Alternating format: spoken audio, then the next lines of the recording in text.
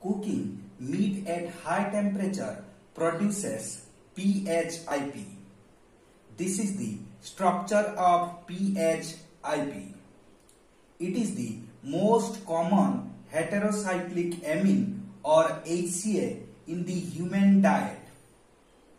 PHIP stands for 2-amino 1-methyl 6-phenyl imidazo 4,5-B pyridine.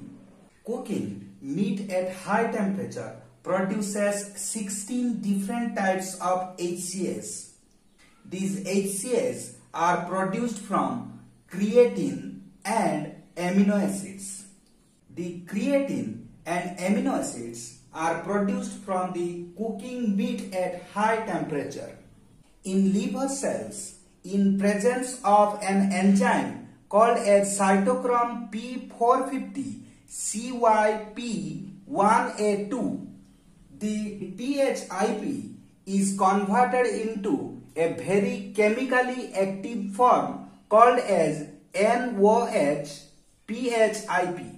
This NOH PHIP then reacts with deoxyguanosine in the DNA to form a mutagenic adduct.